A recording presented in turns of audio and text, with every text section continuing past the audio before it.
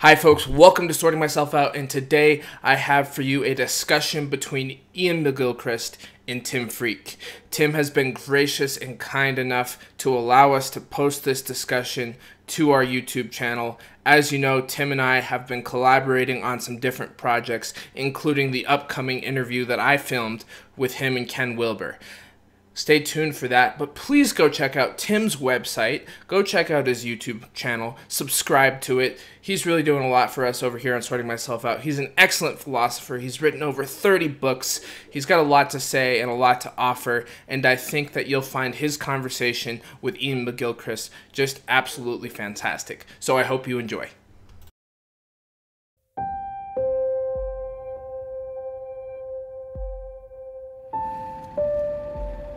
My name is Tim Freke. I call myself a philosopher, but essentially I'm simply a curious human being.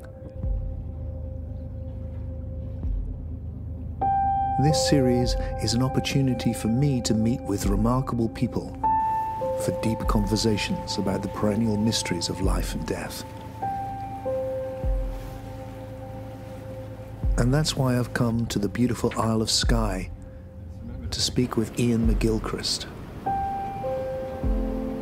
Iain is a former literary scholar at Oxford University, a respected psychiatrist, and a groundbreaking thinker, best known for his seminal work on the left and right sides of the brain in his book The Master and His Emissary.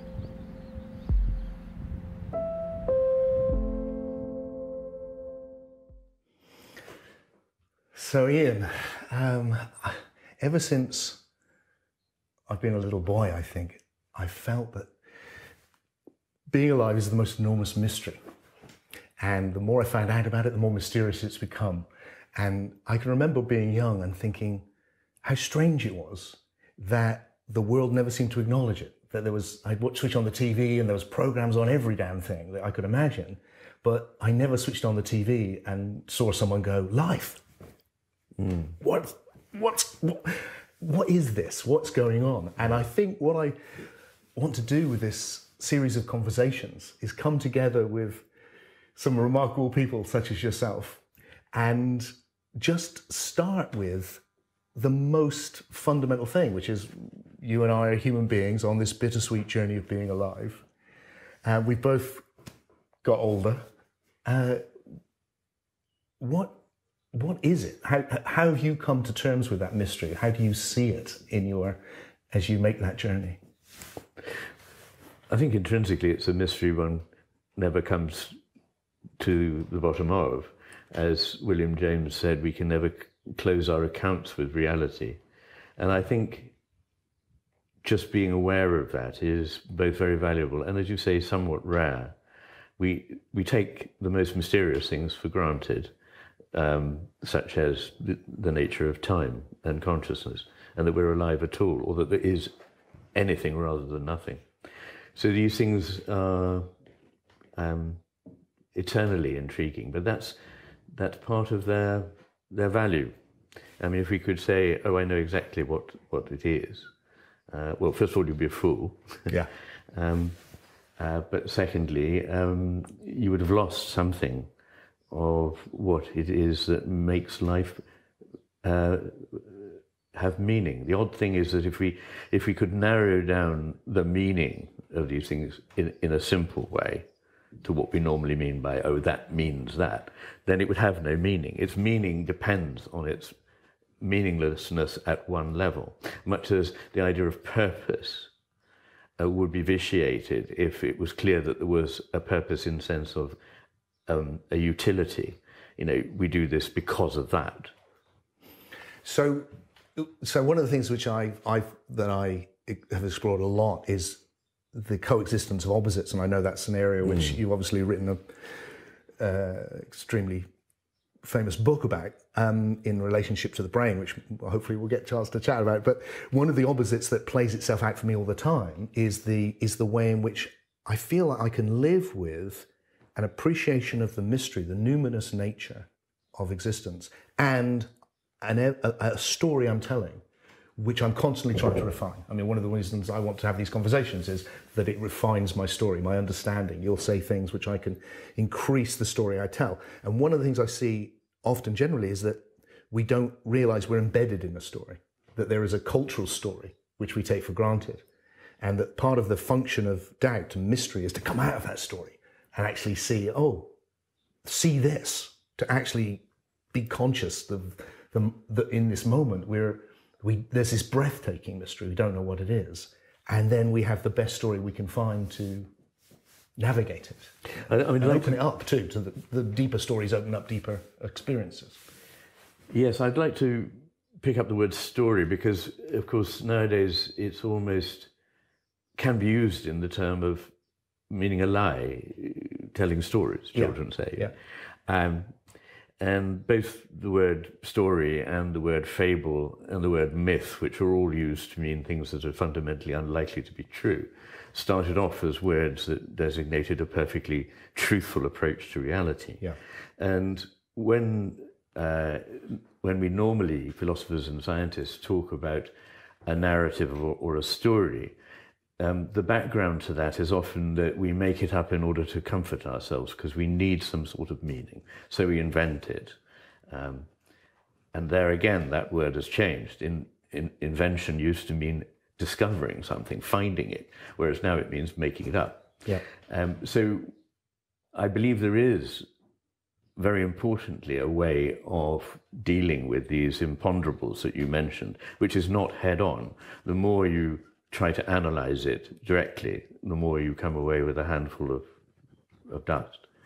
You need to approach it in a more oblique way, implicitly, and this is where art, music, poetry, and religion take their value from being able to embody things that normally we can't talk about directly.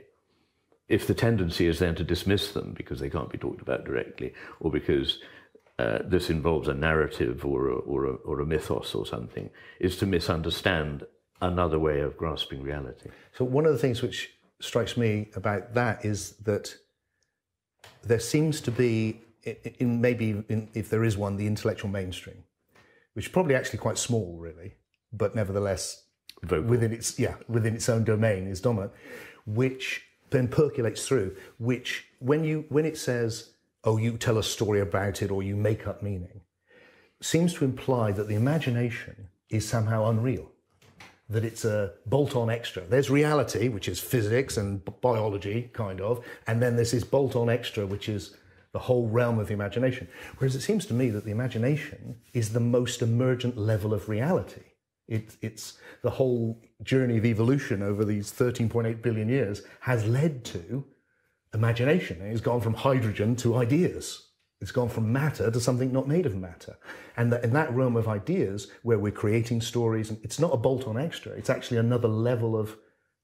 It's it, not the most real exactly, but the most emergent, the, le- the the latest level of reality. It's it's all been leading to this. Yes, I hadn't thought of it in those terms uh, as as something that's uh, a product of evolution partly because I imagine that imagination is foundational, that it is part of an important part of creative consciousness, and that actually everything that exists partakes of it.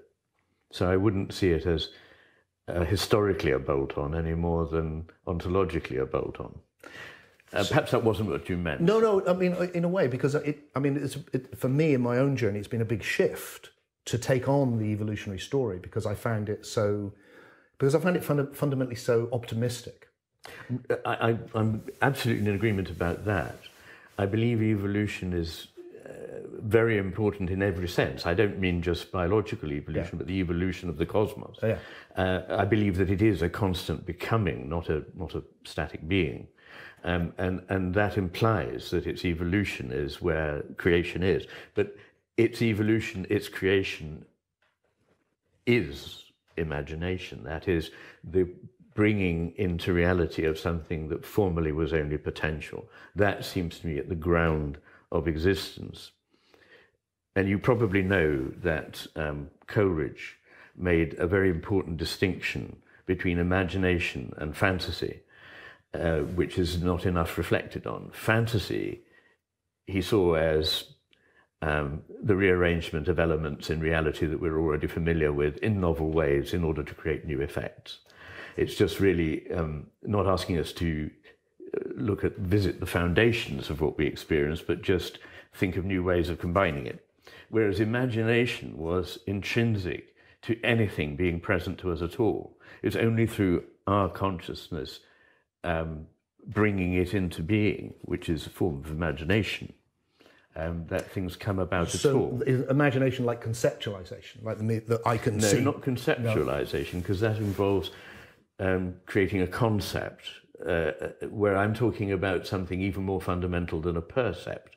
Okay. Uh, I'm talking about something that, in other words, the, whatever it is that we ex- we we are able to know at any level, Yes. which which one of the most foundational is perception, Yeah. is already very much uh, molded by and shaped by our, attention, by the way in which we dispose. so that is what making us conscious, conscious of something. Well, yes, but I mean, attention is at the root of how we see everything. And if we change the nature of our attention, we literally change the world. We change what it is that is there. Okay, so what you've just said there, I think, is the probably one of the most intriguing things for me about the whole thing about being alive. So most of my work is to do with exploring for myself and then sharing with other people what happens when you shift your attention Yeah. in radical ways and how that opens up a different perception. So I really get that.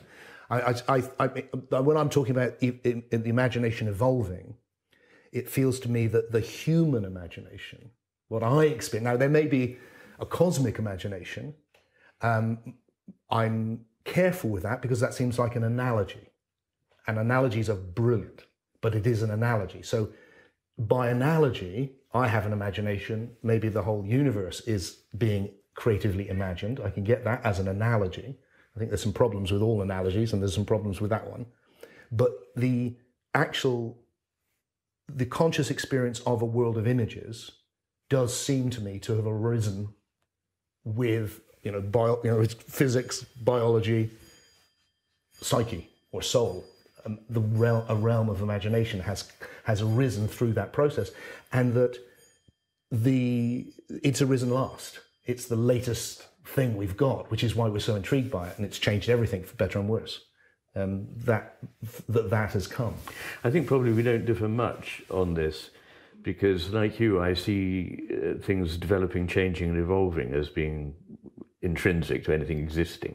So I, I, I absolutely go with that. It's just uh, the implication I thought that you were making that uh, at some point there was no such thing as creation, imagination in the universe, and then it came. Ah, okay, so you're associating imagination with creation, and I'm not seeing those two as the same. So I would see Well, creation invo- as as Well, as because imagination involves consciousness. Yes, I just want to pick up your word analogy because uh, uh, once again, uh, it may be one of those words that's got a sort of built in health warning, whereas in fact we can only understand anything by analogy. I agree.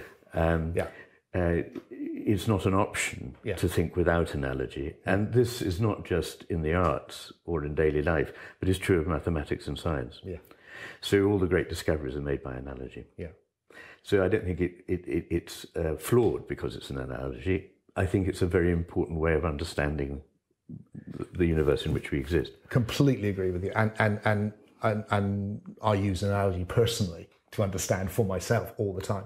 Um, but I also think we need to be aware that that's what we're doing because every analogy, including the mathematical analogies, have limits. And we see that, I think, in physics, where you get this uh, worldview arise from it, which shows the limits of the mathematical analogy. Well, one of my uh, strong um, intuitions is that there is something flawed about the analogies as are often used in modern science. Yeah.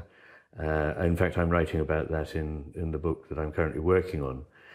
Uh, one of the most important uh, things we need to do to free science is to stop it from modeling everything on a machine. It can be partly useful. Uh, there's actually nothing wrong with it as a, as a possible way of thinking about some elements of reality at a very local level.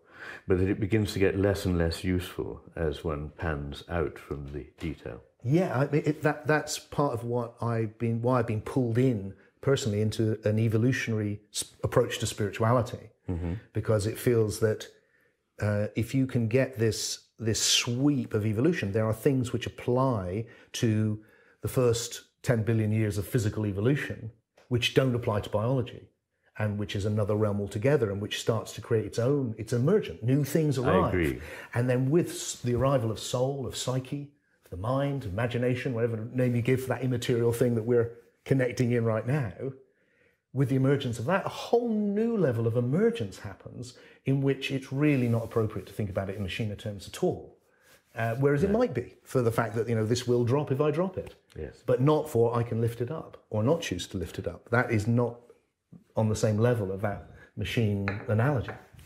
Well, there are um, eight or ten uh, important reasons why organisms are not like machines. Yeah. Uh, that's what I've been currently writing. Oh, is that right? yes. fascinating. But, but it doesn't mean that if you want to uh, isolate certain aspects of an organism for a very short temporal period and for a very short spatial resolution, that you can see uh, things in terms of a mechanism. That's perfectly legitimate but it, it, it, it, starts to run riot, and then one thinks of uh, the whole of an organism as like a machine, which it is absolutely not.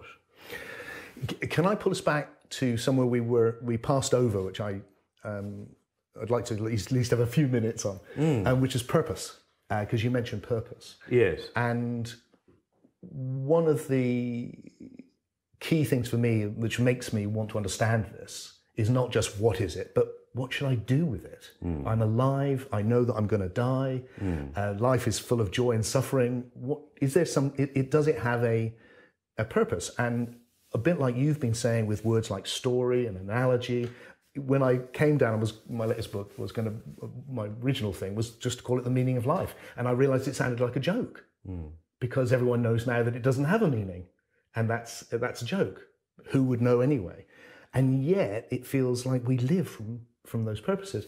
So the place that I've been, a lot of my my my method, I guess, is to look at the moment because that's what I've got and to see what's in it. And one of the things which came from that was, oh, each moment's the realization of a new potentiality. So every moment's new, and every moment contains everything that's ever happened before. It's, it's implicit within it. Me arriving here is implicit our communication, the whole of the Big Bang, everything is. It's actually, what you call pastivity. Yeah, it's every, the past is is is is present. An idea which um, is a very powerful. I associate with Rupert Sheldrake and things like that. This kind of that it hasn't gone anywhere, and that this process has been one of the evolution realizing potentiality. Um, so that the the purpose of existence is not so much it's not so much it has a purpose that the it's actually intrinsic to the very nature of what it is, which is that it's the continual realization of potentiality, and because of the accumulation of everything that's happened in the past, there's a tendency towards more and more emergent realization, so that we can now have conversation because soul has emerged, psyche has emerged, which wasn't happening when there was just hydrogen. But that was a precursor for, for this. So that there seems then a very deep purpose with which we are intrinsic parts, which is to continue that realization of ever deeper, more emergent potentials. And actually, I think we're doing it right now in having this conversation because the new potentials now are being realized in the imagination. They're not particularly biological anymore or physical, they're happening on this imaginary or cultural soul level. And I just wondered how, how that resonates for you and your own thoughts, because I've heard you talk about being and becoming, and it seems similar in some respects. Well, I want to pick up two ideas that you, you just raised. One is to do with meaning, and the other to do with purpose. Um, and they have something of the same structure to them. Uh, there's a certain way of thinking about what meaning is. Uh, for example, I can uh, tell you what the meaning of the instructions for how to operate uh, a new piece of machinery. I've got what what that, what it means. Like, It's very easy to do, but quite what King Lear means is another matter. Even more problematic is I can say, my wife means the world to me, Uh, and people say, well, what does she mean then? And there isn't an answer that, that could possibly work with that.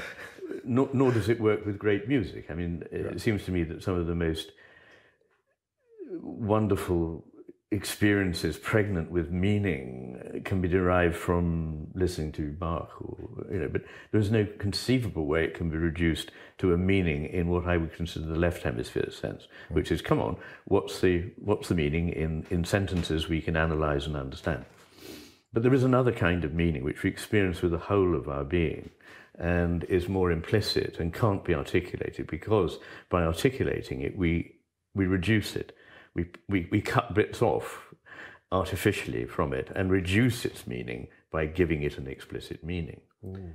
Now, the same thing happens with purpose. When we say uh, something has a purpose, we normally mean uh, I can see uh, that doing this causes that, and that's an outcome that I wanted. That's a kind of uh, utilitarian purpose it would seem to me that when we discover that we have no purpose, it's that kind of purpose we discover. There is no utilitarian purpose in that sense. It's not all designed by some engineer god to produce a certain result. What happens instead is that guaranteed by the fact that it is not reduced to an instrumental purpose in order to serve something outside of ourselves, because the engineer is serving his own purposes. Our lives are not engineered. This universe is not engineered in that sense. But it seems to me full of purpose. And that purpose is, I think, and this is where we agree, the fulfillment of potential. It's simply in what is there potentially becoming being. Mm-hmm. And once it's become being, the process moves on. So that's where you say everything that's happened is already still there, is that something is left behind by this process, but it's also changed by the continual becoming. So even though in, in retrospect it looked like this, now it's, with further retrospect, it looks different. Yeah. So the whole of everything is changing. And I would see the present moment as a something that is traveling through a medium of potential and actualizing as it goes, leaving this actual path behind it.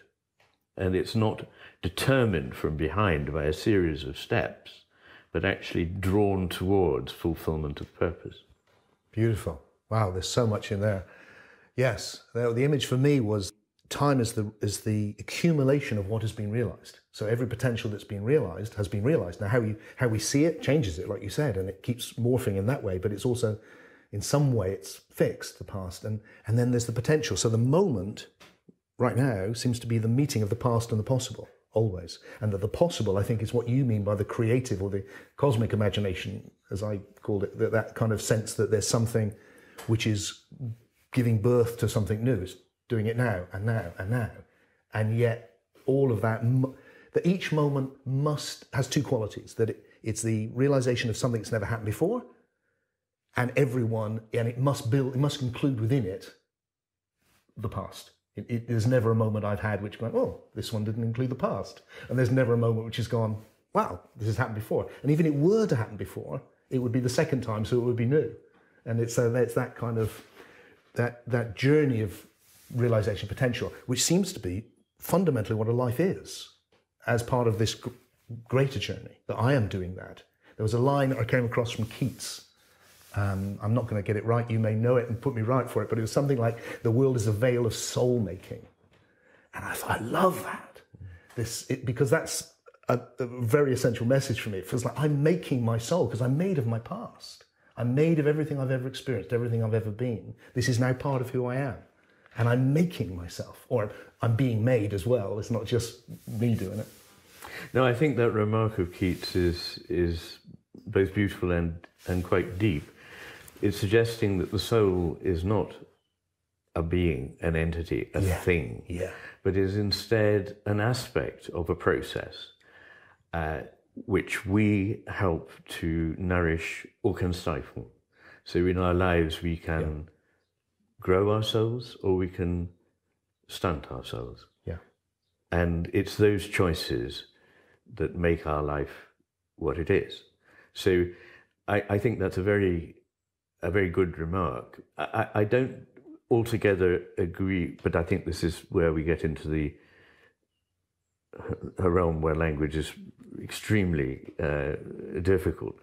But that the uh, present is where the past and potential meet, because imme- and I know Or, it's or coexist might be better. well, yes. I mean, I think the thing is that it's very difficult not to, almost impossible not to spatialize when talking about time. So we see two two things that meet, but of course they're not uh, two things that meet. Uh, the present is an infinitesimal moment that travels through this business, actualizing as it goes. So the image that I have, which is another spatial metaphor and equally problematic for that, is more like something which is accum- like the Big Bang image, where mm. you've got the idea of space itself expanding, except it's not expanding in anything, which is mm. impossible to conceptualize. A bit like time is, is the same; it's expanding as it is accumulating, and just as we can look back through telescopes and see the distant past, we're seeing right back to to where it's it, where the, the, the accumulation of realization has happened within the possible, within this infinite, because it's because it, the possible has no qualities apart from potentiality. It's it's non-dual. It's it's emptiness, but it's full of everything because everything is arising within it. Well, I like that because the the concept of emptiness, the Buddhist concept of emptiness, is often misunderstood. Yeah. Uh, we, we think of things in binary sort of ways. That it's uh, it, that means that there is there is nothing, uh, but there is no thing there. But this emptiness is the word um, sunyata is, is derived from a root that means a seed that is potential to grow. And it, it's at the emptiness as of a womb that is a potential for something to grow in. Beautiful. And so, quite often, what we need to be doing this, I mean, this is a huge topic which we could talk about for many hours, but the importance of the idea of negation, which in the Western tradition just looks like the absence of something important. But negation is the stopping doing things that get between us and something that is there for us to discover often what we need to do in order to be creative is not to make something happen, but to create a space in which what is already potentially there is invited to to grow, to flourish and fulfill itself. Okay, well, I can't resist that being a cue to ask you a big question. So, my uh, strange life has led me to be interested in what traditionally gets called spiritual awakening or this transfer, uh, waking up in consciousness to this presence, which is completely spacious emptiness. And one of the things which resonated, you mentioned in passing in the conversation, you talked about being something, I think you said it's left brain or right brain, and we haven't really touched on, on that. And I, I want to invite you to do two things. So it was a lot really, but to, to mention just the essence of what that dichotomy is about in, in, in your book, The Master and the Emissary. And the thing which I'm particularly interested in for me is how that, or does it, have anything to do with um, awakening or spiritual experience? Because one of the things I notice is that I meet a lot of people who come to me and go, Look, I understand this all intellectually, but I don't experience it. And one of my jobs is to help them experience it. And that's probably what I do the most. And I wonder, is that to do with being trapped in a left brain conceptual understanding and needing to free up into a more uh, right brain understanding, or is, or is that on another level altogether, do you think? Or is it, is it to do with that? And, and the other thing, which referred back to something you said earlier, which is feels like the same thing of, for me, the, the gnosis that arises, the deep knowing, my, the most central thing is a gnosis, a knowing arises which is before words and I try then my best to put it into words. And what I end up saying is very naive and sounds a bit childish, like it's all good, really, despite everything. I know it's awful, but it's also good. It really is, and it's just very childish intuitions, but they, they're the deepest things I know. And I wondered, is that also to do with a, for you, with to do with the left brain and right brain thing, or is that something separate? Do you think? Everyday language arose in a, to enable us to to utilize the world effectively, and we have to use special kind of language to deal with things that are not everyday realities for us, because unless we're careful by expressing them in language, we reduce them to familiar things, whereas the whole point about them is we're trying to convey something that is unfamiliar. As Nietzsche said, words make the uncommon common. And what you're talking about are things that are, generally speaking, unusual, but nonetheless very deep in meaning. We wouldn't expect them to translate easily into everyday words. So I think that everyday language is a problem for certain kinds of understanding because it, it tells us that we've got it. It says, I understand that, I've grasped it. Whereas, in fact, what it needs to do is to abdicate that power because it's actually a destructive process. It's getting between us and understanding something that only by removing language uh, we can contact. And uh, for me, one of the things, uh, I'm a psychiatrist, uh, has been an understanding that people who are particularly articulate often need special help with realizing things of um, a deep emotional kind. Uh, th- this can be done by using implicit therapies rather than explicit therapies. A lot of therapy takes place in language, but there are therapies that don't involve that, that involve either um, metaphors of bodily movement, of enacting things, or of painting or sculpting. And often, you know, city lawyers would be very reluctant to go and do these therapies. Um, and I'd need to persuade them that it didn't matter that they had no artistic skill. But the trouble is, they were so good at articulating things in everyday terms that that got between them and something which only when they were able to adopt a more implicit approach, a more oblique approach, um, came to life. Mm. Now, you asked me about the hemispheres, um, and it's a difficult thing to convey briefly. Uh, effectively, one needs to throw away all the preconceptions one has about what the difference between the hemispheres might be. Um, it took me 20 years of work to sort of to get some idea of what these differences were about and to try and counter the prejudice against the idea that there's some difference between the two hemispheres. Um, mind you, arguing that there isn't is a bit of a non starter because all the things we can objectively measure, that science can measure, are asymmetrical in the brain. They're different sizes and weights and different shapes and have different convolutions and different cytoarchitecture, different neuroendocrine responses. They use different balances of neurotransmitters, different gray to white matter ratio. There's everything about them that's different. And if you were a clinician rather than somebody merely working in a lab, you'd know from experience that when something happens to somebody uh, in terms of like a stroke or an injury to the brain, uh, it matters at least as much which side of the brain it's on as the site within that hemisphere. So uh, I wanted to find out what those differences were. And to summarize very simply, they seem to me to boil down to differences of attention mm. to the way we see the world. There is a, a, I don't perhaps need to unpack that, but there is a good Darwinian explanation of why we need to use two kinds of attention to the world. I can allude to it very briefly. We need to be able to get hold of things in order to eat them or to use them to, say, a twig to build a nest or pick up a seed rather rapidly before another bird does or latch onto a rabbit or whatever it is. Then for that we need highly focused, extremely precise, but very localized attention, just a few degrees of the attentional arc. But if that's the only kind of attention we pay, we're vulnerable because we need also, at the same time, to be paying quite the opposite a sustained, long term, broad, open, uncommitted attention in which we haven't already made a preconception of what we're interested in. This brings us back to the question of what do we mean by conscious? Because I am only conscious in the focus of my attention of a tiny part of 1% of everything that my brain is receiving, that my body is receiving, because the brain is seamlessly connected to the nervous system, which is seamlessly embedded in the body with its muscles and its blood supply and so on. So everything we experience is information about the where we are, mm. the environment.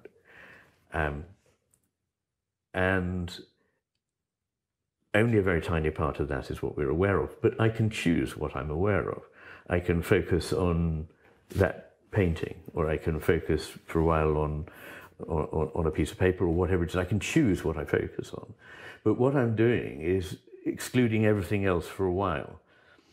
What is very odd is that because we're so we're so present with the thing that we're attending to by definition that we forget that it's just a minute part of everything else. And we privilege it over all the other stuff. But actually, not, it's not necessary for us to be attending to things in order to make intelligent use of them. Our bodies are intelligently using information that I'm completely unaware of. And even at a rather sophisticated level, my brain is taking in things that I can't articulate and I'm not aware of. Tiny changes in the musculature of your face that last for a tenth of a second, uh, I'm aware of and understanding, for example. Um, so there's very much that gives meaning and importance to life that it doesn't even begin to become part of consciousness, never mind to become articulated in language. But earlier you mentioned how something very important came to you. You weren't sure where it came from, but you couldn't articulate it. There's some very nice um, research which shows, at least implicitly, that our thinking begins at a pre linguistic level with um, a sense of a gestalt, in other words, of a shape, a form, an analogy, a, a metaphor, a something that it, our thinking is is embodied in a, if you like, non-verbal way, visual way, or, or, or kinesthetic way, it, it, bringing all our senses to bear. And the next stage is that we allow the left hemisphere's language centers to process that in language. But that's only an intermediate step. In order to understand it fully, whatever has been made explicit then has to be reabsorbed. Uh, that's the wrong way of putting it, but taken up again by the right hemisphere's global understanding and made sense of in context. Okay. So, so how does that? I guess what I guess what I'm. Or, uh, let me come at this slightly different way. So, when I this I, I, I, came across a line in maybe in your book or something you said where you said look the whole universe is is is polar dipolar it's like and it keeps on showing itself up the brain is an example of that one of the polarities which I work with as when I explore um, states of consciousness and awakening is that that it that depending on where I put my attention uh, I'm aware that we're individuals and separate but there's a place where there's one universe and there's one of us meeting itself. And I have explored moving between those and seeing those existing alongside each other. And one of the ways that I explored that with people in, is a practice I've been doing for the last 20 years of just simply gazing. And what's fascinated me with gazing over the years is how different the connection is between the two eyes. Mm-hmm. So that I'm aware there's so many levels to this, and I'm just wondering what what your own thought what can what light it casts on it. But so the first thing I'm aware of is the very basic level is that when I connect with you, what I connect with is your your your face, your uniqueness, your body, and yet what I'm really connecting with, I can't see. I'm connecting with another conscious being looking back at me. So something I, and and so the thing that's connecting is is not visible, and yet that's really what's happening here, through the through the looking. So that's the first um, polarity which I see. And then if I focus in on the eyes, I see that when, I, when you do it for long periods, that there's a quality to the two eyes which are quite different, nearly with everybody. Um, and one seems more individual. Uh, in my experience, I feel much more like, oh, uh, for example, I, I connect with Iain, and then the other seems much more spacious and universal, like I'm connecting with some depth of being which is also in me. And I wondered if there's anything to do with the, your studies of the brain which had any reference to that at all, or whether actually this is something which is transcendent of that completely.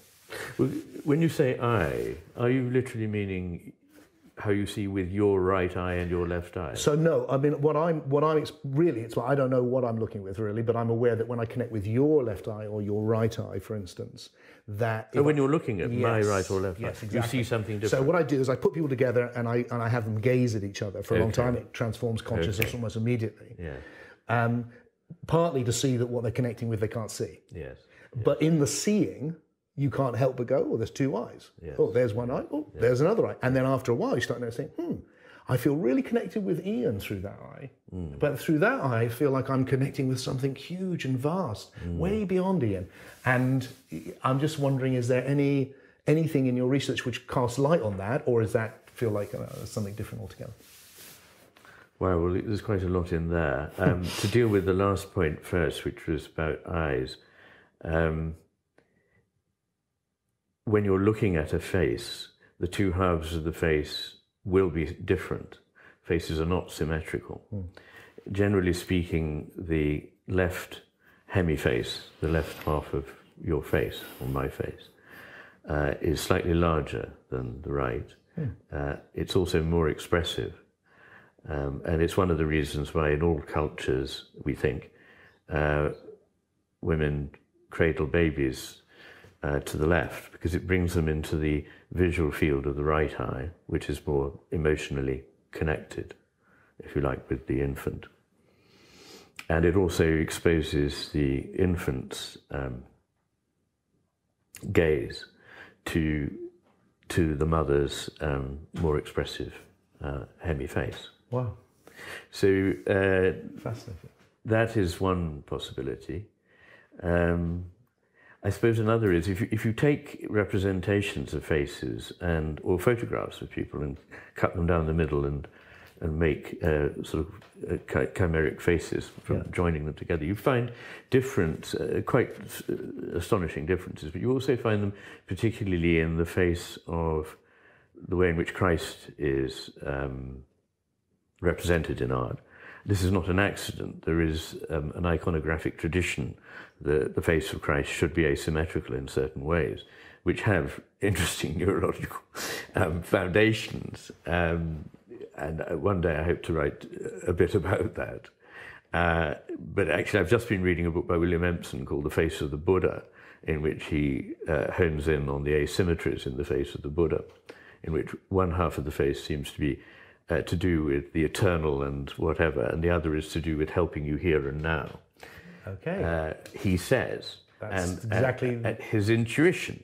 Uh, but it's possibly a very interesting one. Yeah. I mean, I, I, I'm exploring it a that's bit at the that's moment. That's exactly what I'm thinking. I think that's right. I think I, I think also that the way in which we see things. I mean, once once taught in medical school, and it's important to to say this, and I always do, that you shouldn't assume that the left eye uh, is more connected to the right hemisphere than the right eye, Yep. because uh, uh, it's the left visual field of each eye that feeds to the right hemisphere, and the right visual field of each eye that feeds to the left Okay, hemisphere. that's interesting. Uh, whereas in many animals that have eyes on the sides of the head, there is pretty much a straight crossover. So you can tell they're using the left eye, they're engaging the right hemisphere.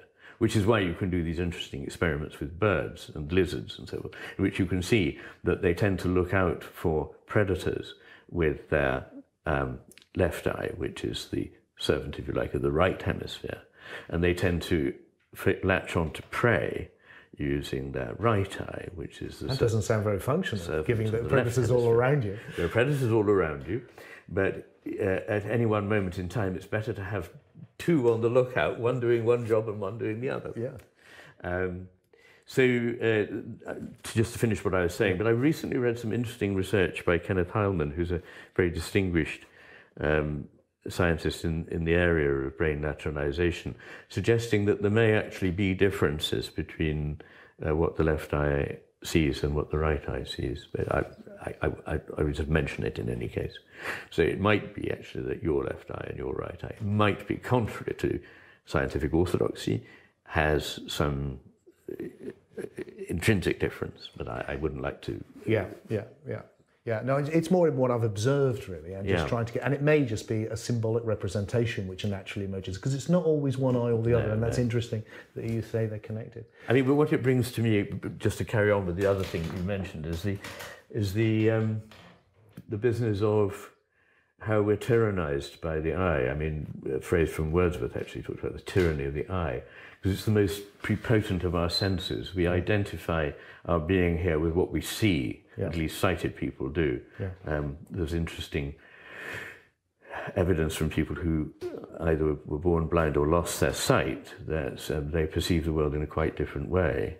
There's a marvelous book called Touching the Rock um, by a man called John Hull who, who went blind in his middle years and made a very articulate account of how the world changed. But in any case, to go back to the fact that the, the visual sense is so dominant, dominant eh, for us, I was going to say domineering, and it is a little, um, that we imagine that we're somehow here behind our eyes, which, which means that somehow we're localized in the head. But as um, Max Scheler, um, 20th century German philosopher, pointed out, um, the thoughts and feelings that we have are in some sort of shared space. When I feel things with you, when we share ideas, there is, we're used to thinking that's in my head, that's in his head. But these things are going on somewhere which may or may not be more or less localized in either of our heads. Yes, absolutely. We assume it's you know clearly clearly the brain plays an important part in it. There's no doubt about that. But the idea, the, the actual experiential referent I have is the imagination is nowhere, somewhere else completely. Yes. and that we're sharing, like I said, we're existing in that realm Yes. through the funny noises. I, I love that play of attention whereby I can see you and go, oh, here's a body making funny noises, Yes. and yet in the imagination it's full of meaning. Yeah. And I'm and I'm Yeah. bathing in your ideas Yes. that have been passed to me, but not here. It's just literally just la la la la. la. So um, I, I want to just try and go to one um, big idea to um, uh, end our our conversation. Um, I'm intrigued to know for you what um, what you feel for you has been in your life and looking forward has given it purpose in, for you particularly and and how you've made sense of it as an individual with the inevitable hardships that we all go through and the, the, the heartbreaks and all of that side of life as well. What what what what has enabled you to maintain this lovely infectious curious heart opened uh, presence to life Well, of course, when you started that sentence, I was already beginning to search for what what things were important, have given meaning to my life, Yeah. and I was beginning to think it might be quicker to list the things that haven't. okay Um, I'm not going to do that, but, I, but I, I'm just thinking that, um, despite the fact that my life has gone through many strange Knight's Move steps from philosophy to literature to medicine to you know whatever, and it's gone through many phases. There have been very consistent themes. So, like you, from a very early age, I was interested in questions that are foundational in, in, in philosophy and theology. And the life of the mind, uh, the pursuit of ideas simply because they are fascinating and alluring and tell me of themselves that there is something important here. That is one of the things that has guided my entire life and given it the sense of evolution and purpose that it has. But along the way, just about everything that I've encountered has enriched that in the sense of meaning. I mean, above all, of course, the love uh, I have experienced uh, in relations with, with family, friends, partners. Um, things like music, poetry, and the arts in general. And above all, perhaps the relationship with nature, which seems to me so profound and so elemental that when I'm away from here, where I am surrounded, I only have to go out of the door to be surrounded by the natural world. When I go away, for example, I make increasingly um, infrequent visits to London, um, but I, am afraid it's it's it's like um, suffocating, and I really can't wait to get out of it because it, it's the antithesis of just about everything that seems to me to matter, which is harmony, peace, uh, silence, um, not doing, um, attending, and slowly, deeply thinking about things. I can't find that in London. The press, the sheer press of of everything going on around me, most of which doesn't seem terrifically meaningful. It has, if you like, a beautiful illumination, uh, illumination of my, my idea about purpose. That everyone seems to be driven by a purpose to get that bus, to go to that meeting, to do whatever it is. And yet, the big question hanging over it all is why? What's all this about? Whereas here, nothing seems to have a purpose. The plants grow, the trees grow, the sheep graze, the sea crashes on the shore, the rain comes down, the sun comes out. None of it seems to have any purpose, but it's full of meaning and purpose, if you see what I mean. That illuminates the difference. Yeah. So, provided I am not stifled by by being yammered at by, by media. I don't do social media at all. I don't have a television. I switch on the radio, not every day, but usually around six o'clock, just to reassure myself that the country still exists. um, but it seems to me that it's much better for me to be spending time where I love to spend it, which is in dealing with things that are not time limited, that, that are, in a way, the, the really interesting questions about what we're doing here in this, on this planet, in this universe at all. That's what gives the richness to life, and for me, both meaning, extraordinary meaning, and an extraordinary sense of purpose. And I'm not bothered in the least by the fact that it's coming to the end. For various reasons I don't need to go into, it's probably coming rather quickly to me. But I, I don't mind that at all. I am intrigued to know what happens when my body is no longer here. And if nothing, I won't be disappointed. You've just at the end veered us into death, which is a major preoccupation of mine, is I don't feel we can possibly understand life without at least questioning death. I agree. I agree. And it's you know it's been a meditation. Oh, Plato's whole philosophies of meditation on death, and I kind of feel that. So, um, as have you and how how you mentioned you know okay it's it's okay and that you if you if if nothing happens you won't know but where do you have a, a theology of it as it were or do you have a a intuition with the nature of death and its relationship with life? Well i'm uncertain of most things but probably nothing quite as uncertain as as about that particular question. I really don't know. Um, I say I'm intrigued, but then I have personal experience of going to extremely dark corners of the universe in my consciousness. Yeah. Um, at times. So I know that, as it were, there are very painful places in the cosmic consciousness. Yep. And it's not guaranteed that, um, on an n of one anyway, that that everything is going to be uh, tolerable. Yeah. If consciousness persists. But I have a view that my consciousness, and I think we might disagree about this, but I think my consciousness as me um, will not persist in any obvious way. I think that I'm like, and we are like, eddies in a stream that for a while are visible, measurable, photographable. They have force, but they they move on, or a wave in the sea, which for a while can be very powerful, can break things, and can is is, is palpable, but it's absolutely seamless with the water of the sea at large, much as the whirlpool is seamlessly part of the river that flows. And I, I see water actually as a very good image, one I'm always coming back to, um, in trying to understand existence. Um, and in fact, use images of various kinds of streams. Yeah.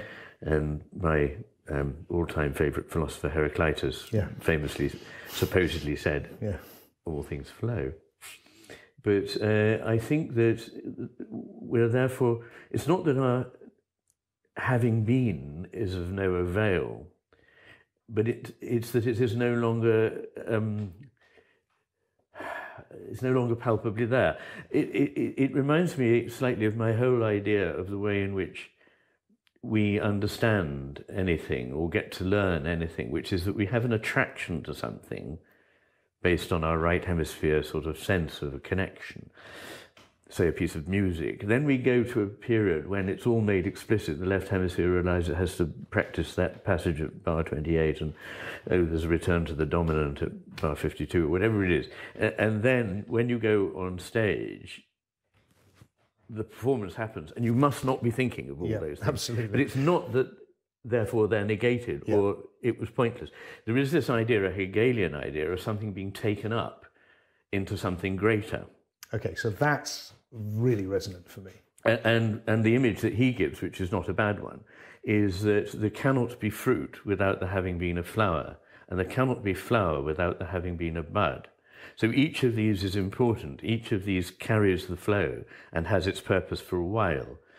But they're all subsumed in the process of this plant producing this fruit. Okay, so let me let me so that my own meditations on it, which are always completely provisional and based on my own experiences of being around death quite a bit and and after death connections as well, and just trying to make sense of them. Um, but also the philosophical movement. Um, we were talking earlier before we were filming and about, and I said I see this movement from unconscious oneness, and then the the the the process of becoming, of individuating, leads to greater and greater consciousness as things become more complex and more individuated until they've got you and I, which compared to most things around here, uh, the trees and the windows and the floor, it's pretty individuated. We're able to have this whole conversation about the nature of life. Um, and then you've got death.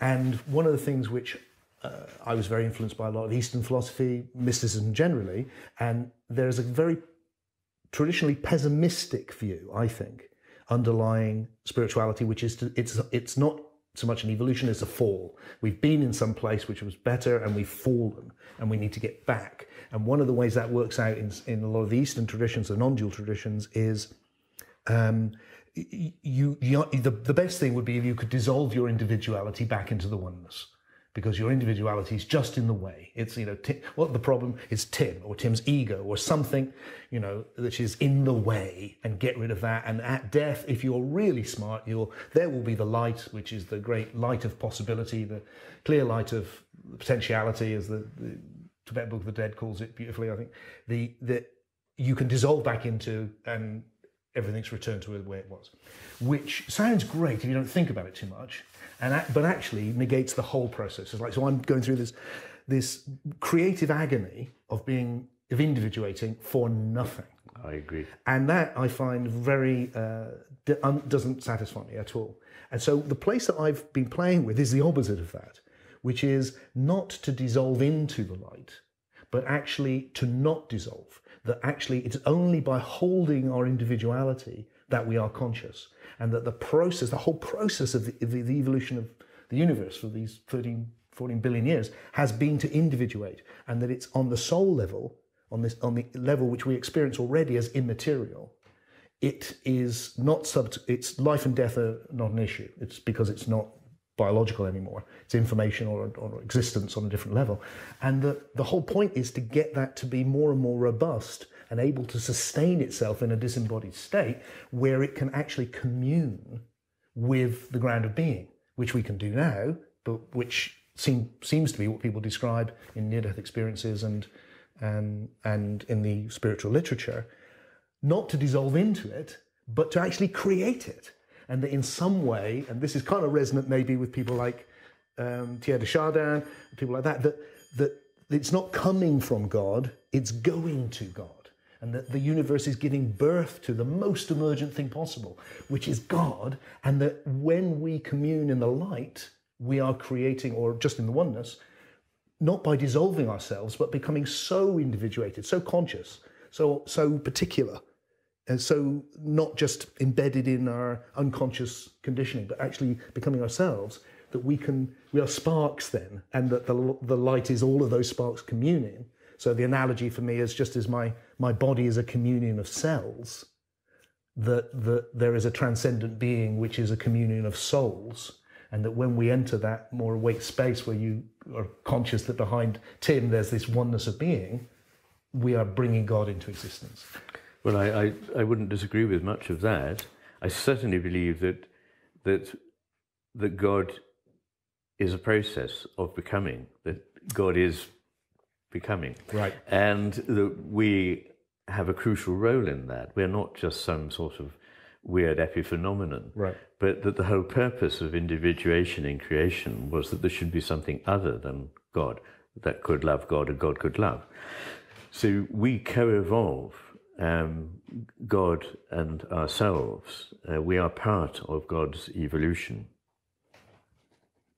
And so we play a very valuable role.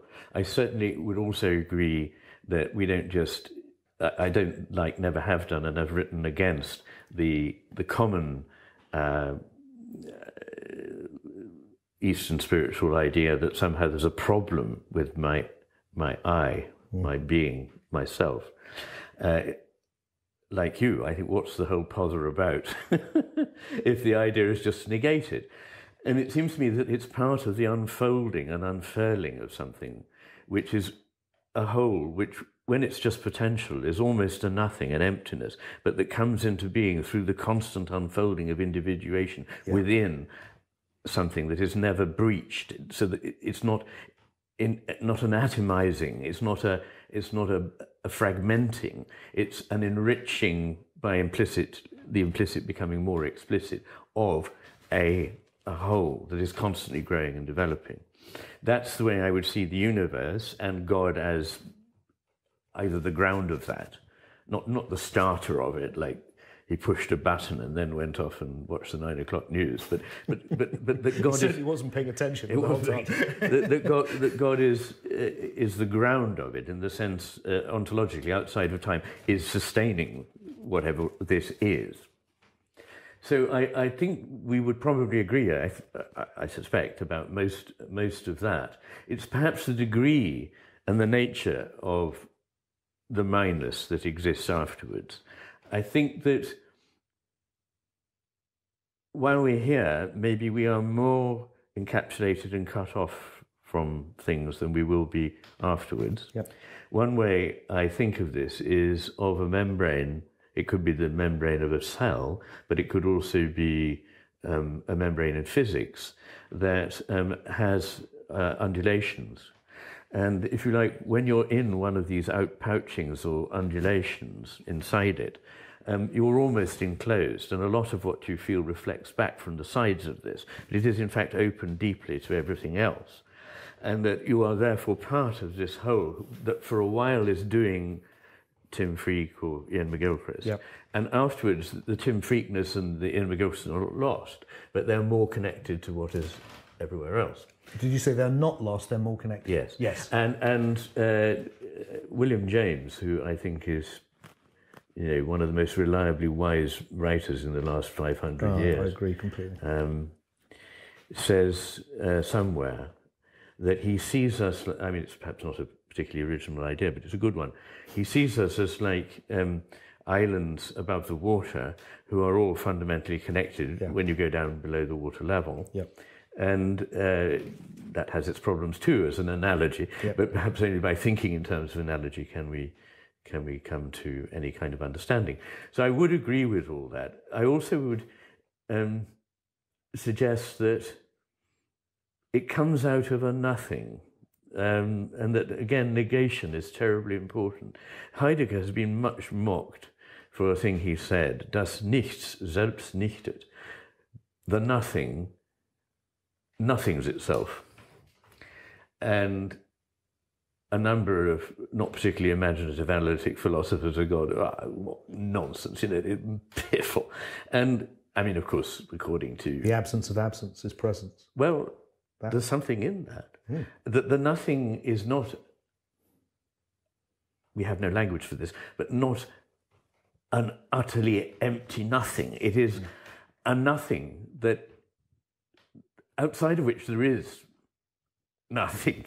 So it is the original state. But nothing will always noth itself. And in doing so, something comes into being. And that is the something So that is uh, growing. what I get from that is if you have nothing and it negates itself, you get something. Yes. So that that kind of turning back. So so so the the theology, and I guess really I, I call myself a philosopher, but actually when I look at what I'm, I'm interested in, it's kind of really a theology. I just feel uncomfortable with the word, but is this is is is kind of oh God as Alpha and Omega, like where it starts and where it ends. Although I don't think it starts or ends, but just as a as a way of framing the idea, so that you've got the ground of being which has no qualities but being, is, which is therefore the potential of everything that becomes. So it's not conscious for me because it's not anything. It's it's just not. It's it's un, but it's being, which is going to give birth to and is, I suspect, continually giving birth to. Never started, but is for our universe started, uh, giving birth to this becoming, which is reaching because of it reaching ever into ever more emergent possibilities. And therefore the, and the most emergent possibility is this conscious of itself this oneness of being conscious of itself. But it only gonna that oneness will only become conscious of itself through individuating. And that's the paradox and we are that. We are in that process. And that through us we can we're con- if we throw our consciousness back onto our being there's a universality to it.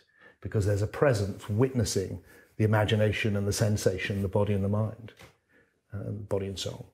And that, but the present itself has no qualities but being. And that's the great insight of mysticism, that you can be aware that your deepest being is the being of everything, even though it's become conscious through Tim or Iain. And it's absolutely unique and wonderfully so, and, and precious for that. Yes, I, I think that is that is right, and and also in the uh, European mystical tradition, Meister Eckhart in Yeah. particular, perhaps Jakob Böhme, Yeah. um, are particularly good on on this. Uh, they avoid to an extent, while embracing the idea that God is many paradoxical things. They they in fact, by embracing that it is paradoxical, they avoid the simple idea that the negation of the I or the ego, or the no, the ego is another matter, but of the of, of my minus Yeah. would be a good thing. I thought you made a brilliant point when you mentioned that um, it's one I need to clarify because I, I may have given an impression I didn't want to. But you said, so this God has no qualities in it in, in, initially, as it were, and um, because it's it's nothing, and so it can't be conscious. And I agree with that. When I say that I think consciousness is foundational, I think one has to separate the idea of something utterly, utterly unknowable and unspeakable about, which in all religions God is, that we cannot describe, that is the origin of everything. And the next step in which there is something. Now, as soon as there is something, I believe there is both matter and consciousness. Ah, okay. And so I- I, I, would call that just subjectivity. That, that, Well, that- no, it's I- just a matter of words. Well, I wouldn't Okay. because because I think the whole subject object divide is.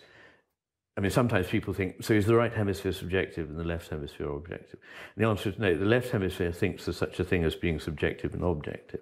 The right hemisphere sees that it's a betweenness, which is neither subjective nor objective. Yes. And so, what occurs when there is something is there is a betweenness, and that is this it's love, or whatever you like to call it, this force between the primal whatever that can't be said and the thing that is coming into being.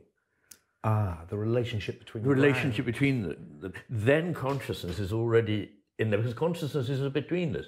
If it's not that, it's nothing. As soon as there is something in which there can be betweenness, then there is consciousness. betweenness of the of the potentiality with the, of being and becoming. Yes. That relationship. That- well, that relationship and the one between what in in the Kabbalah is called Ein Sof, the primary being that is not Yeah. quite equatable with God, Yeah. but is a sort of the Yeah. thing that cannot be It's kind of closer to what I mean. closer to what you're talking about. Yeah. And, and, And, God, the vision of God in the more personalized sense, that being of love, when God is love, what is now coming into That's being. That's what comes to be, which Yes. is why you don't see much evidence And- of God as love through the first Uh, whatever billion years of evolution, Yes. Uh, God isn't love at that point. exactly. God is becoming love. God is, and is also because of this becoming, is not actually either omniscient or omnipotent. Exactly. And I, I think this is very important. Me too. And recently I've been saying it to some fairly orthodox theologians and being surprised that they're willing to accept that. Oh, that's very good to hear. Um, because I've come to exactly the same thing. How can I rescue this experience I have of a transcendent being of love and goodness with the reality that of the world and of evolution? And I think putting, if you put that figure at the front, you've got endless problems, and no matter how many theological sleight of hand you, you employ, will not go away. Y- yes, that's right. But I want to um, embellish what I've just said Okay. um, in the light of the hemispheres, because I think Okay. it makes sense to me anyway. Okay. Um, when I say that a God is not omniscient and not omnipotent, I don't mean either that he's not omnipotent, omniscient or omnipotent, because I just think the terms are wrong. Okay. So he's he's not a potentially omnipotent being that is somehow falling short of omnipotence, nor a potentially omniscient being that is somehow falling short of omniscience, which is what it sounds like if I say God is not omnipotent and omniscient. But what I'm saying is that the left hemisphere conceives knowledge in a very special way, which is that it is a kind of factual, almost objective, propositional knowledge. I know that H2O is water. I know that Paris is the capital of France or whatever. That is a kind of knowledge. So that might be God knows that the day after tomorrow I'm going to be run over by a car, but is helpfully not telling me. That, that, is, that is the kind of omniscience that is irrelevant to God. Because God, Very depressing. but God, God, God's knowledge is of a kind that we don't have a word for in English, frustratingly, but every other language that I've come across does. It's the difference between in French savoir, which is the kind of knowledge I've been talking about, and connaître, which is to know somebody, to know a place, to know Grok is the word that comes to mind from. Uh, Okay. Uh, do you know the um, the science fiction? I'm- the, the, uh, it's a famous book. one of the many things I'm, Land. I'm lacking is science in, in fiction knowledge, but a word precisely for this. Okay. Of knowing some, like knowing knowing that that is a glass and knowing yes, the cup yes. to grok something. And So what, what is this kind of knowledge is is an encounter. Okay. Yes. The other kind of knowledge is a proposition. Yes. This is an encounter. Yeah. And it's the same in German where they distinguish between Wissen, sort of as it were, factual knowledge, Yeah. and Kennen, to get to know. It's always a process. You, I can never know you. I can only get to know you more and more. We say that, don't we? To We- get you. and, and I To can get it. Yeah, yes, and I can get to know this place. Yeah. I can get to know a piece of music. Yeah. So th- that's different from knowing Yeah. that in the past that this is the case, as it were. It, it's finished, and that's that. So God's knowledge is canon, oh, and God can only, therefore, His knowledge is is perfect in the sense that fulfilling what is happening, He knows everything that is happening. So in that sense, He's omni, not omniscient, but an omni knower. We don't have a word for it.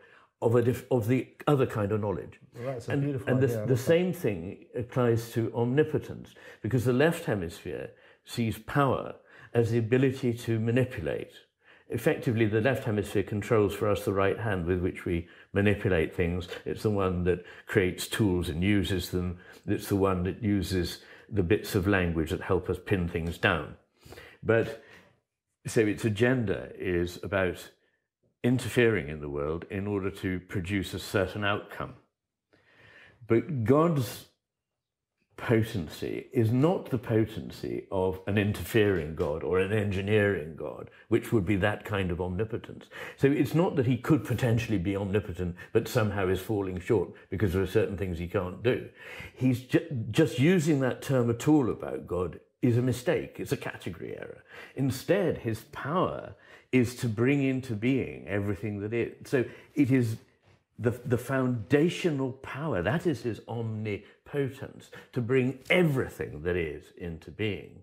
And he doesn't, he doesn't sort of set aside what it could be, because if he did, it would just be a, a dead extension of him. It's got to be something other, and therefore it's got to take its own course. But I don't think that that means that necessarily it's all bad news, because because like you, I think that although there are many ups and downs on the path, as there are bound to be in any natural system that is finding its way, it's going to fluctuate around certain means constantly. There is an upwards movement of evolution in everything in the universe, which I, that's, that bit I will agree with.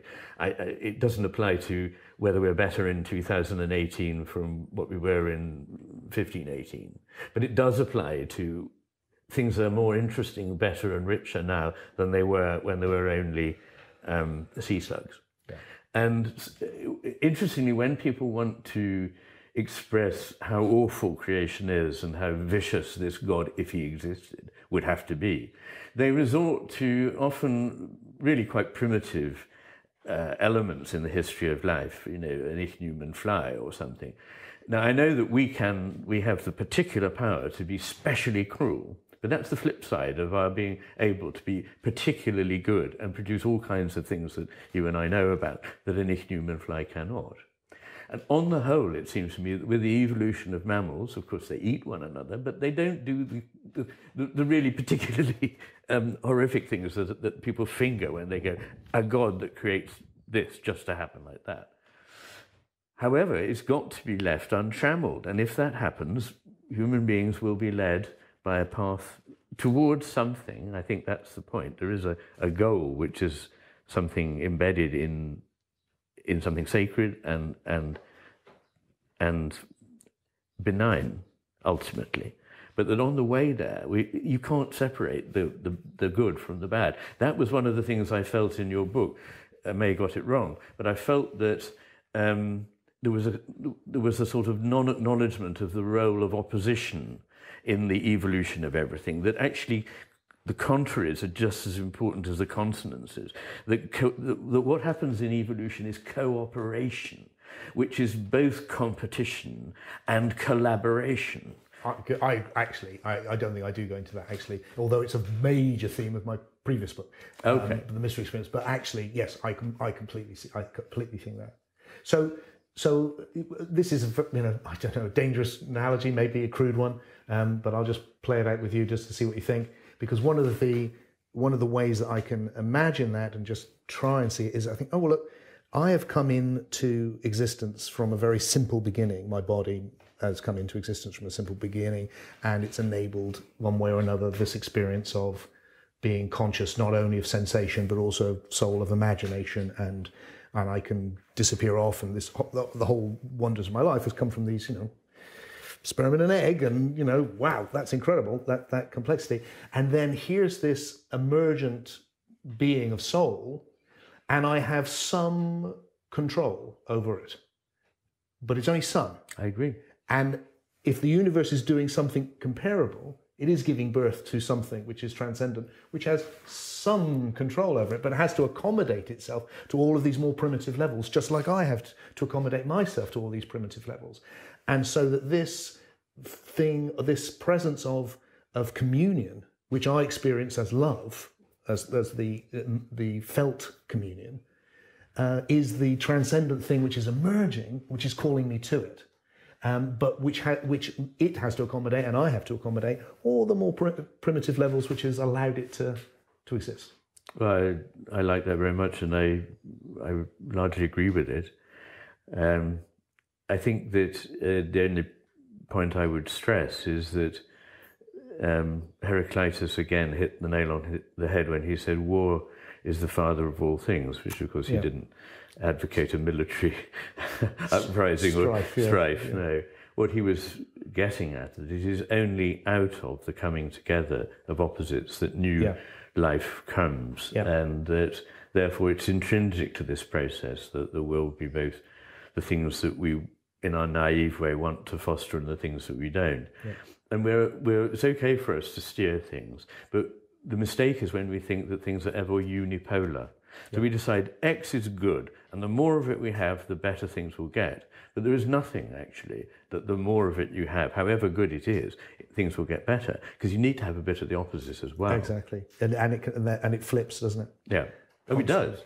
And and the, the, It's a very Taoist insight, I think. well, it's inescapable, and it's a bit like having a, a magnet that has a north and south pole. And you go, I think I only like the south pole. I don't like the north pole, so I'm going to cut it off. Yes. Now you've just got a shorter magnet with a north pole. The, the one I love is, you know, I just want left without right, but every time I go left, this damn right thing keeps following me, and and and, and that feels like with all, of the that. Yeah, yeah, exactly. So I, I think you you and I agree on that, but I think it's a very very basic point that um, people may go yes yes, but do they actually take that into account when they think about um, philosophical issues? Um, because I think it does help illuminate a number of the conundrums that you've been. You, you obviously work as a psychiatrist, but I, and I, I deal with the psyche insofar as people who are exploring awakening. And the place I've ended up, which is incredibly simple often with people, is just to go, look, look don't try and get rid of the thing which is bothering you. Just find the opposite. Don't try and deny yeah, uh, uh, very this. good. Just Yes. look look for the opposite because it will be there too. Even in the worst of times, find the one thing which is not, or you know, it- it- I think that's very good, and it also encompasses the idea of acceptance of um, fallibility, weakness, the dark side, the things that um, we don't like, and that doesn't mean to say we become complacent about them. We strive to to further its opposite as much as we can, but we acknowledge that it's there. And a lot of my work as a psychiatrist actually could be seen uh, not with psychotic patients, which is a separate. Uh, I mean, in, a- way, they've got a brain illness that Yeah. you, you're not going to have a conversation with them on this sort of a level. Um, not at least until they've got out of the psychotic episode. But but for a lot of my patients, um, what I was doing was helping them to accept um, their dark side and to stop being obsessed by the idea that things should be all of a certain kind, that their lives should have only these things in them rather than all the downsides of those things. Yeah. Or that their personality should be single and perfect and so on. It just isn't the case. It's only a lack of insight that makes one think that it could be possible to be a, anything other than a very flawed human being. yeah, really. And, and there's something lovely about that. Isn't it marvelous? isn't it? And just uh, because I work with awakening, the, the thing that you said earlier of of you know that you'd always uh, uh felt also that, that, that this denial of the individual is is hmm. is disastrous. Man, I feel it as a parent. I, that's how it really came to me. I just looked at my young children and hmm. thought.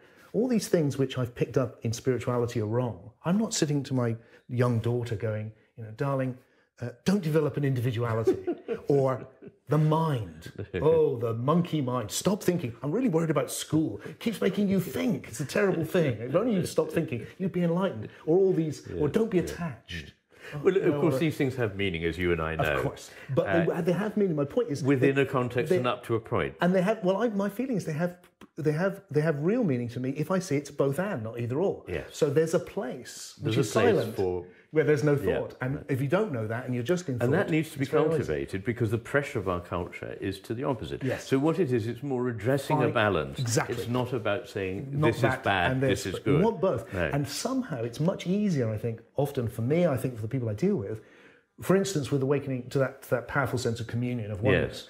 which 40 years ago when I started doing it myself, felt like, God, how do you ever do this? Yes. And, and it, that, that I could be now, this ripe old age, traveling around to people in different cultures and being pretty confident that people will experience this. yes.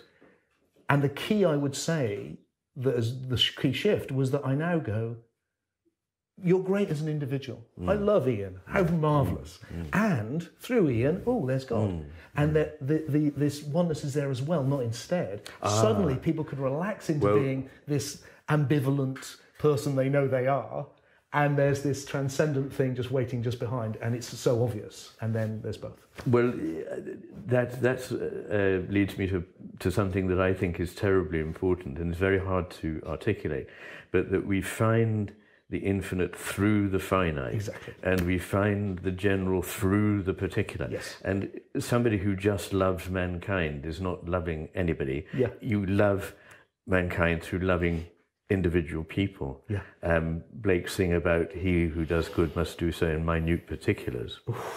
and uh, What a line. yes, um, he goes on to say general good is a plea of the something in the scoundrel, but. Uh, but no, I think that is terribly, terribly important. And it therefore involves acceptance. And so much, I mean, this is a drum I bang a bit these days, but so much depends on acceptance. It's really what I was saying about patients, that often what they needed was to accept things that were causing them grief because they didn't accept them. Hmm. And, you know, one of my mantras was, I'm not all right, you're not all right, but that's all right. Hmm. and, you know, we're constantly being pressured to make everything uh, like some sort of unreal ideal, and it's just not necessary. But if one actually accepts things, it's so much easier to forgive, it's so much easier to experience gratitude, and these are the things that keep you happy and relishing the business of living. And there's something so ironically anti-life about the other view to me Yes. Every step, every time I love, I've loved. You know, you, you've said ideas today which I will go away and think about deeply. So and and will create a new understanding. I hope. And so, but the part of that will be seeing something I hadn't seen before, and may involve seeing things which I saw differently and have to go, oh, I was wrong about that. So, and and in, in my growth as a human being, as a as a soul, it's constantly, oh my God, you know, every time I mess up, I have to. There's a there's a certain humility that is enforced by that, which is so. I'm, so the process of growing, of evolving, of becoming more that I more of what I could be, is constantly getting things wrong, and seeing my inadequacy Absolutely. in an accepting way and learning and moving. So the idea of, of trying to make it all perfect would be to to actually just to just jam up the whole journey. And, Indeed. and wouldn't that be a shame? Well, you say, wouldn't it? It's already happening, but Yeah, it is. there we are. It is. Yeah. Well, Iain, thank you so much for um, allowing us to come to this amazing place on the Isle of Skye and to have a conversation which I was looking forward to and which has been even more wonderful than I expected. So, Well, it's been a great pleasure, and I just wish we had longer, but um, thank you.